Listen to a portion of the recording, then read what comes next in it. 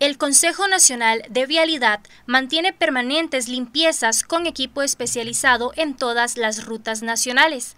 Estas labores garantizan un mejor funcionamiento y vida útil de estos activos viales.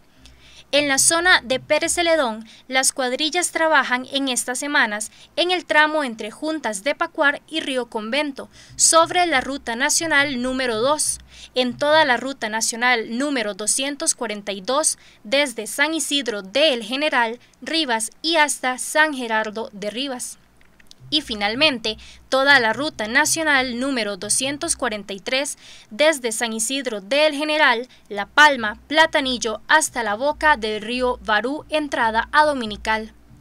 Los trabajos en estos casi 70 kilómetros consisten en la limpieza de cunetas, remoción de los sedimentos que se lavan de lotes contiguos y se asientan impidiendo el libre paso del agua, remoción de maleza que impide la adecuada visibilidad e irrumpen también el sistema de manejo de aguas pluviales, así como la chapea y descuaje.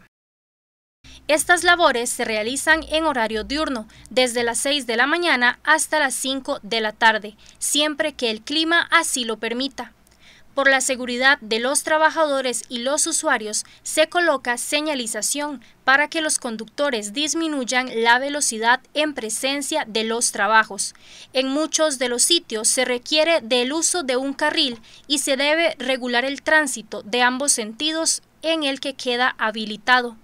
La inversión que el CONAVI realiza en la limpieza de activos viales con equipo especializado en estas tres rutas nacionales asciende a los 20,4 millones de colones.